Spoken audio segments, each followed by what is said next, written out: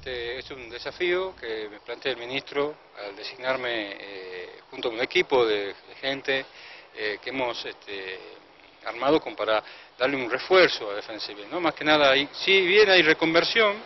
hay algunos, eh, algunas personas que ya no van a estar,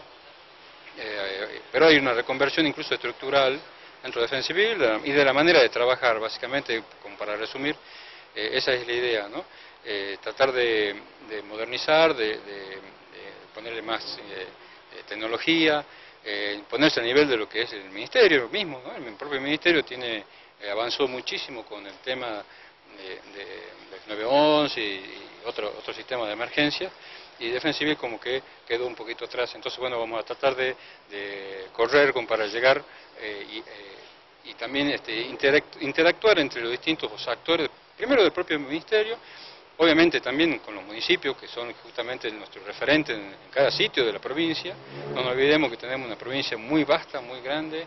eh, con diversas eh, características eh, climáticas, diversas características orográficas,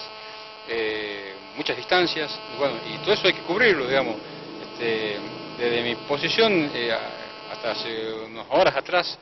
director general de emergencia en la municipalidad, a, hacerme cargo de la defensa civil de la provincia, es como un cambio de escala importante en el cual nosotros este, trabajamos, eh, la idea es trabajar con los municipios,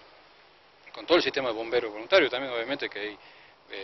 25 eh, cuarteles de bomberos en la provincia, más los bomberos de la policía, la policía misma, son todos organismos que en un caso de emergencia o desastre eh, tienen que actuar y tienen que estar todo protocolizado de tal forma, y dirigido y coordinado por esta defensa civil, por lo cual este, estamos haciendo algunos refuerzos con eh, personal que viene con nosotros y personal también propio de, defensa civil, que vamos a buscar una mayor capacitación, una mayor tecnificación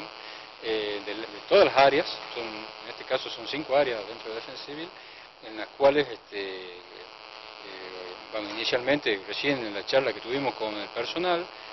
les pedí que bueno, cada uno también dé sus opiniones, sus, necesidades, que indiquen en qué están trabajando, sus proyectos, como para, por un lado, darle una continuidad dirigida hacia donde nosotros queremos llegar.